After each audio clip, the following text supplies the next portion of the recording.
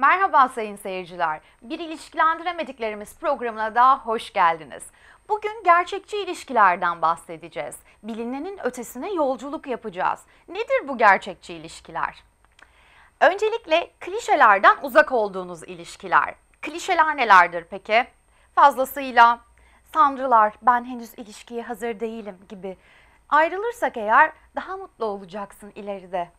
Ee, senin için bunu söylüyorum gibi klişeler ya da psikolojim bozuk, maddi durumum iyi değil, bu yüzden ilişki süremiyorum ben ya da hevesim çabuk geçiyor gibi gibi klişeler olabilir. Klişelerden de öte gerçekçi ilişkilerde arkadaşlar doğru sormanız gereken sorular var. Onlara da değineceğim ancak yalansız, riyasız olan ilişkiyi lütfen atlamayalım gerçek ilişkiyi. Kesinlikle yalan söylememelisiniz.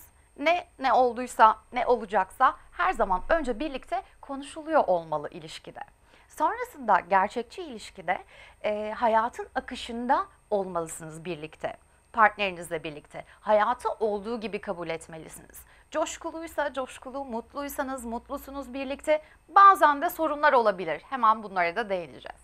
Şimdi şöyle söyleyelim. Ee, sormanız gereken doğru sorular nedir? Gerçekçi bir ilişkinin içerisinde miyim? Şeklinde bir düşünceniz varsa şu soruları yöneltebilirsiniz kendinize ve ilişkinize. İlişkimizin dinamiği biz olma halinden mi geçiyor acaba? Yani biz olursak eğer tek taraflı düşünmüyoruz artık bakın. Biz bizim için hayatta bize katacak değerler, gelecek güzel günler neler olabilir ya da sorunlar neler olabilir diye düşünebiliriz birlikte. Sonrasında yöneltebileceğiniz bir soru e, biraz güncel olacak ama benimle fotoğraf çekinmek istiyor mu olabilir? Çünkü gerçek ilişkiler içerisinde güzel anılar biriktirmek istersiniz ve bu anıları kaydetmek istersiniz. Bu içten gelen bir duygudur arkadaşlar. Kim sizinle fotoğraf çekinmek istiyorsa bu bir sevgi gösterisidir çoğu zaman iş haricinde. O yüzden bu küçük ayrıntıya da dikkat etmenizi rica edeceğim. Sonrasında mutsuz olduğum zamanlarda benimle iletişime geçmeye çalışıyor mu? şeklinde sorular sorabilirsiniz. Ben uzaktan da onun varlığını hissedebiliyor muyum? Ruhunu hissedebiliyor muyum? Ya da uzaktan hislerini okuyabiliyor muyum? Çünkü öyle bir frekansa geçeceksiniz ki aranızdaki bağdan sonra uzaktan da onun ne hissettiğini ve düşündüğünü az çok anlamaya ve hissetmeye başlayacaksınız.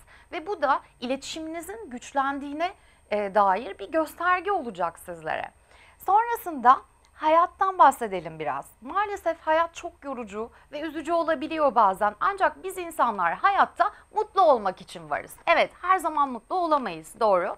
Ancak e, ilişkilerimizde mutlu olabilmemiz için ve hayatta da mutlu olabilmemiz için öncelikle ferah gönüllü, her zaman pozitif düşünen insanlar olarak yolumuza devam edebiliriz. İlişkilerinizde de yine aynı şekilde mutlu olduğunuz zamanların, değerlerin e, farkına vararak daha güzel günlere ulaşabilirsiniz. Ee, bazen zorluklar oluşacak hayatta. Evet her zaman kolay değil demiştik. Ancak partnerler arasında ilişkilerde zorluklara karşı mücadele edebilmek için bazı davranışsal ve düşüncesel refleksler geliştirmeniz gerek. Artık bakın ilişki dinamiği biz e, tamamen biz bakış açısıyla bakıyoruz ve bizim için dinamikler oluşturuyoruz, refleksler oluşturuyoruz. Olası bir sorunda ne yapabiliriz birlikte? Ne şekilde davranabiliriz? Çünkü şunu çok iyi biliyoruz.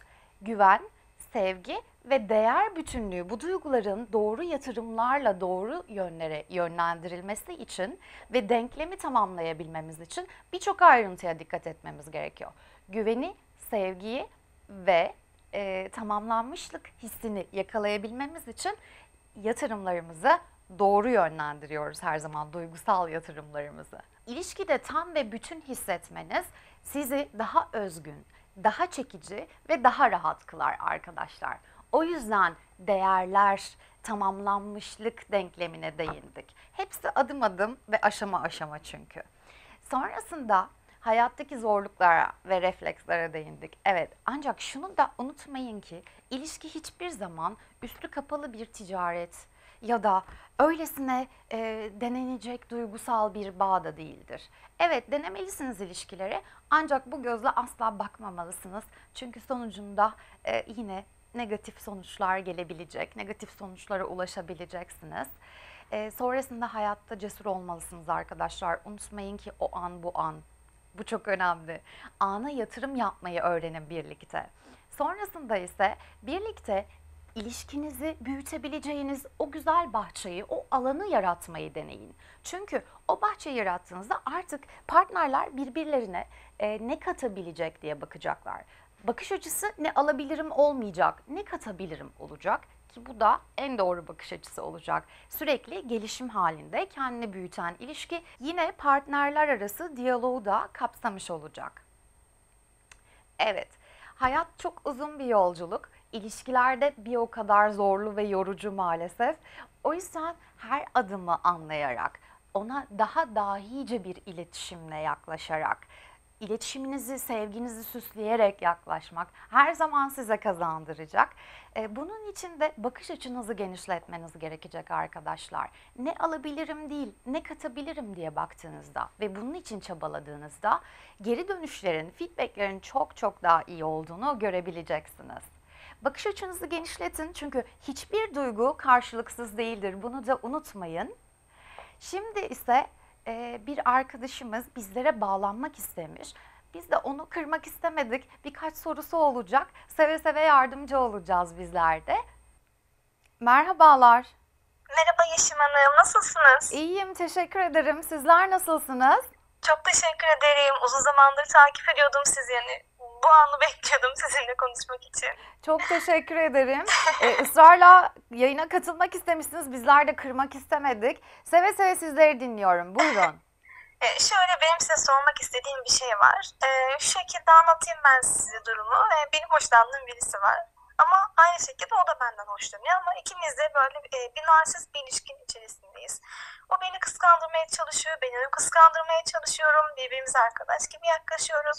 Ama bir türlü orta yolu bulamıyoruz. Sürekli bir aramızda bir gerginlik, bir agresyon var.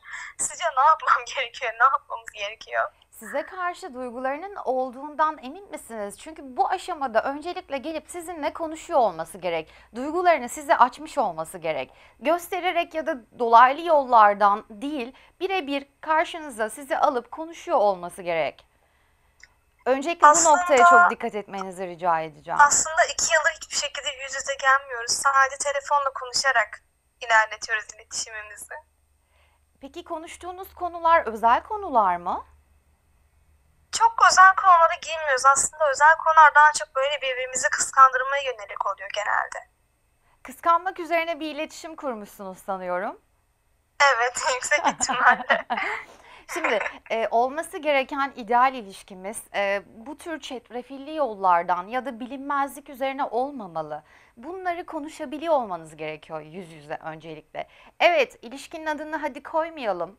E, bu bilinmezlik halini kabul edelim şeklinde de başta devam edebilirsiniz. Ancak her şey iki insanın karşılıklı birbirine açılmasıyla başlar. Oturup konuşmasıyla başlar. Peki bu narsizm ilişkisinden, narsist ilişkiden nasıl kurtulabiliriz sizce? Evet, o narsizm bu kıskançlıkları yaptıran böyle bir durum söz konusu. E, narsizm ilişkilerde çok uzak bir kavram arkadaşlar. Gerçekten e, narsistik özellikleri ilişkiye dahil ettiğinizde çok büyük çıkmazlara giriyorsunuz. O yüzden narsizmi bir kenara bırakmanız gerekiyor ilişkilerde. Çünkü birbirinizi mutlu etmeniz gerekiyor sürekli. Onu gördüğünüzde mutlu olmanız gerekir. Ee, sevgi dolu hissetmeniz gerekir. Dediğim dedik kişilerdir narsistler. Ancak ilişki başlamadan narsistik özelliklerini göstermesi de çok sakıncalı. İlişkiye dahil etmesi daha doğrusu. Çok açıklayıcı oldu. Yani umarım e, en kısa zamanda bir çözüme kavuşturabilirim. Ben çok mutlu oldum sizi aradığım için, sizinle konuştuğum için. Bence öncelikle bir konuşmayı deneyin kendisiyle birebir. Sonrasındaki gidişatı da tekrardan değerlendirelim olur mu? Çok teşekkür ederim o zaman tekrardan. İyi yayınlar Tamamdır. diliyorum size de. Çok teşekkür ederim aradığınız için. Görüşmek üzere. Hoşçakalın. İyi yayınlar. Teşekkürler. Evet. Arkadaşlarımızın da farklı sorunları var. Eminim sizlerin de var arkadaşlar. Hepimizin olabilir. E, ilişkileri bu kadar uzak e, bu kadar ne yapacağımızı bilmezken umuyorum ki program bir nebze de olsa sizlere yardımcı oluyordur. Sorularınız ve konu önerileriniz için ben çok teşekkür ederim. Hepsini tek tek inceliyorum ve sonucunda en güzel, en nihai konulara değiniyoruz. Bir sonraki konumuzda birlikte konuşana kadar, bir sonraki programımızda birbirimizi görene kadar kendinize iyi bakın. Hoşçakalın arkadaşlar.